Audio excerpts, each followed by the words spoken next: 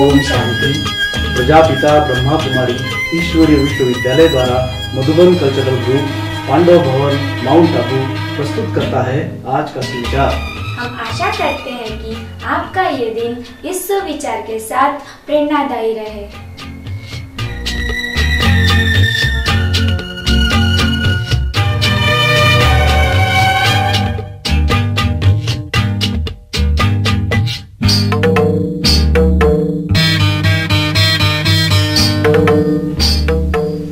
हमारे वचन, चाहे कितने भी श्रेष्ठ क्यों ना हो, परंतु दुनिया हमें हमारे कर्म के द्वारा पहचानती है।